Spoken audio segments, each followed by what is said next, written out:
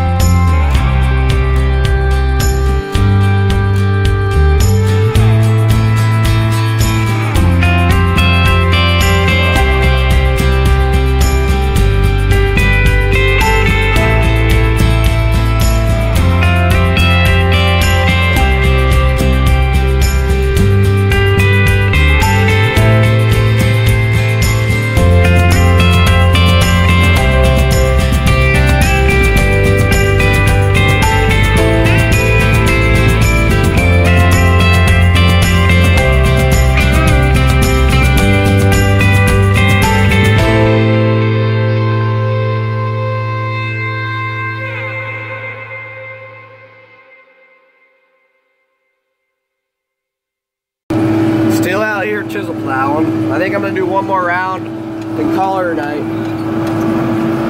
I was driving along and then all of a sudden the light bar shut off. After spending five or so minutes, the part that plugs into the relay came unplugged. So I plugged it back in and it's been working since. So evidently it somehow worked its way loose and unplugged itself. Basically, it just worked its way loose and nothing wrong with the light bar.